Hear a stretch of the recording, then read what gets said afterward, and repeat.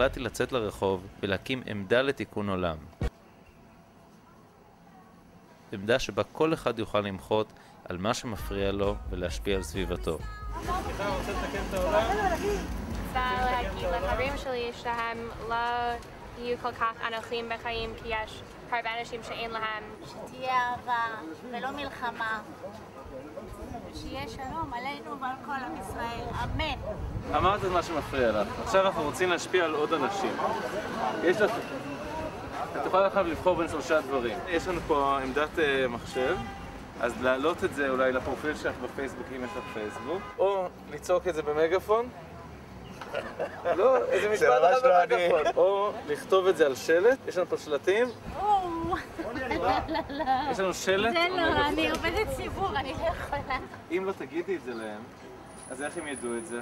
לך בפייסבוק זה הדרך להגיד להם, לא? אני לא מרגישה בנוח. כי מה? זה יותר מדי פומבי? כן. אז אתה נגד שינוי. אני לא נגד שינוי, אני חושב שהוא לא אפשרי. לא? למה? למה לא? אתה מתבייש? אנשים מפחדים כאילו מה שיחשבו עליהם, על, על, ה- על הדעות שלהם. מה בעצם גורם לבושה? כי היום אחד שיוצא נגד החברה בקטע של איכות הסביבה, אז הוא הוא בעצם הומו. משפיע על העולם, אין לי בעיה. שכמה שיותר אנשים ישמעו את זה. אין לי בעיה. רגע, תכף, אני מתרגשת. מתרגשת? תן לי להצליח להגיד את זה. שנייה, זה קצת קשה לי, אני לא...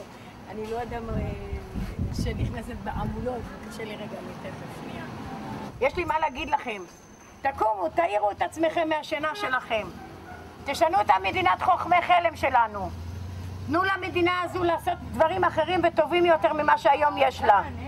נזרוק את מי שלא עושה למעננו, ואנחנו נעשה למען עצמנו. יש אפשרות לשנות את החיים שלכם לטובים יותר, למוצלחים יותר, למאושרים יותר, לילדים שלכם, לנכדים שלכם בעתיד.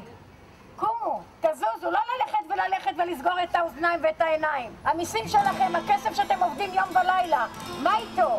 אתם לא חושבים שמגיע לכם תמורתו משהו? תפסיקו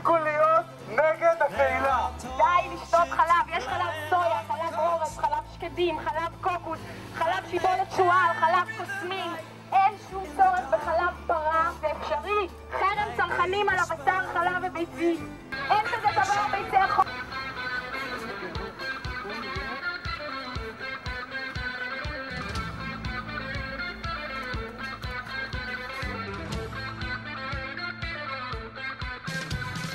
אנשים קיבלו כוח אחד מהשני והציפו את המקום באנרגיה של שינוי.